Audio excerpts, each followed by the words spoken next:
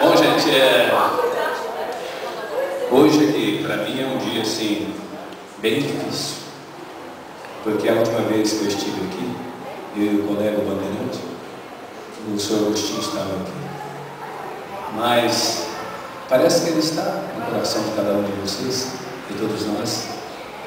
E eu fico muito feliz em ver vocês continuando, dando sequência nesse trabalho tão bonito que ele fez.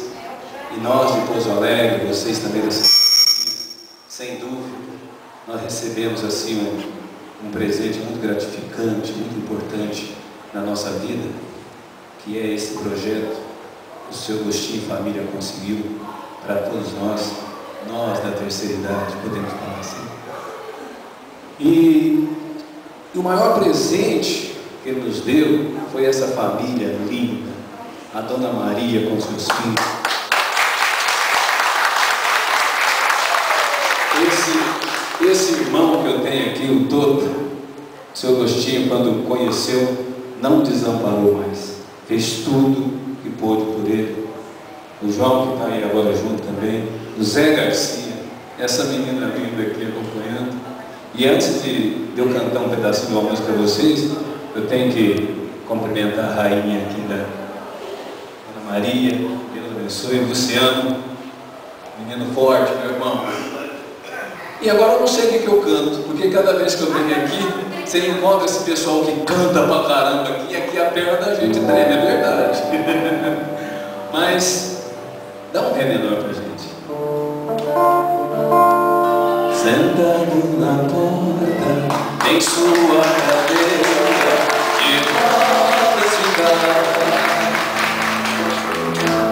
Seus olhos tão brilhando, sem ter alegria, tão triste chorava.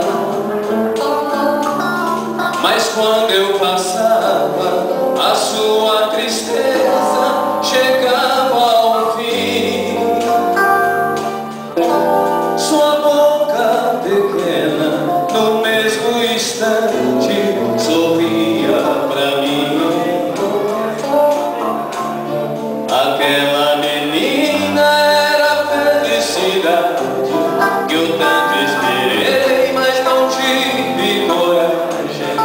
e